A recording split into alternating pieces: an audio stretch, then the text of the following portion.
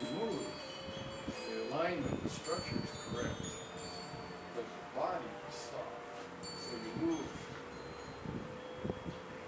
this.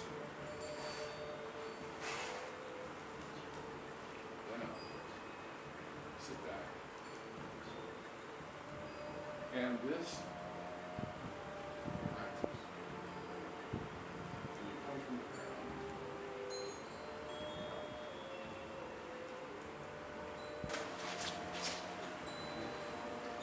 Up, up, yeah.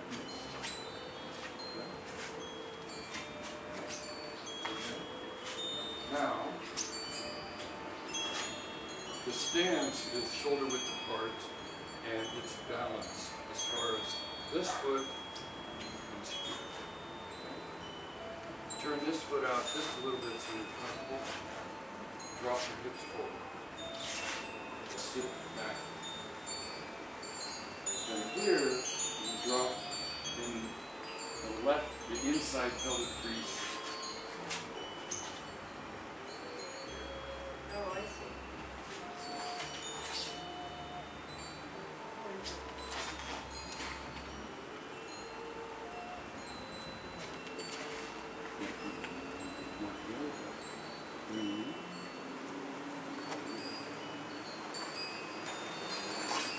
Literally, the elbows are heavy. If the elbows are heavy, the shoulder tension, everything